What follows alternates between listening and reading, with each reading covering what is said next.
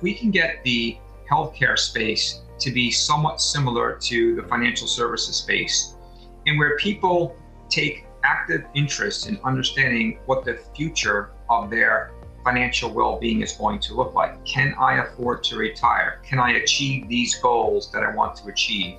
And everyone's got different goals. Um, if we had people equally engaged in their well-being journey, and with the power of data, analytics, insights, able to tell them based on what we know of you today, we can forecast what one of a couple of scenarios could be for your well being over your lifetime. You may have a need to start saving today for what might be healthcare costs you're going to have later based on your circumstances.